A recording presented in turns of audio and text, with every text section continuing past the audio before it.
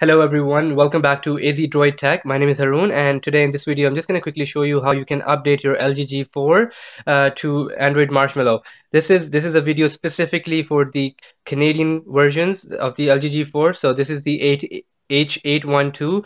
Uh, to make sure which version you have, you can easily go down to uh, your um, settings about and under hardware info it should tell you the model number. So this is the LG H812 model only. It's gonna work only on those models. Today is February 1st and uh, TELUS has already released the update but not all devices have received them yet. Uh, Rogers will be coming out with it on February 3rd uh, and uh, I don't have a date for Bell yet but it's gonna be soon as well. But if you can't wait just like me and if you want to get it done today here's another way. So first of all just to make sure uh, go to your software update and check for check now for update. It's gonna if it says that you're already running your soft latest software version that's fine. There's another way to do this. So so let's let's go to our computer and see how we can do this so guys, I'm here on my PC now and I have the LG Bridge installed on my computer. This is the software from LG for the LG G4. If you haven't already installed this, go ahead on LG's website and install the LG Bridge software on your computer or Mac. And once you've done that, right away, um, uh, connect your LG G4 to your uh, to your computer via your micro USB port. And once you've done that, uh, you can go to uh, software update basically and uh, what it'll do is it'll check for uh, any software version updates that may be available for your device.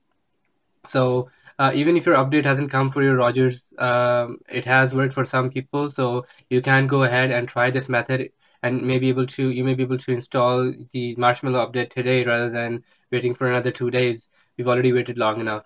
So my, my phone version is TELUS, and so I shouldn't have any problems today. It should be uh, so here it says that uh, you know there's a software update available. Uh, the new version is H81220E. Uh, under enhancements, it's telling me there's an Android OS upgrade um, and some features. I'm not going to read through all of that, uh, but I'll let you guys take a look at that.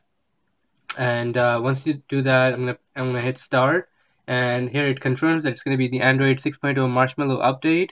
So that's good. Checkbox, press OK, and there you go. So it's now um, downloading the software uh, on my computer and uh, then we'll just go ahead with the update. So that's just a, a quick method of you know uh, doing the update on your phone. If even if you don't have uh, the OTA update coming up on your device yet, if you don't want to wait, you can go ahead and do that. If you have any questions, don't forget to you know post below. I'll have I'll be happy to answer them.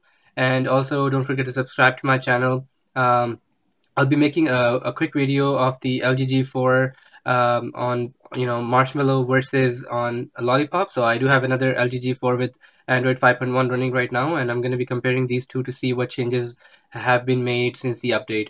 Uh, so that's it for now. Thank you so much for watching. Take care. Bye.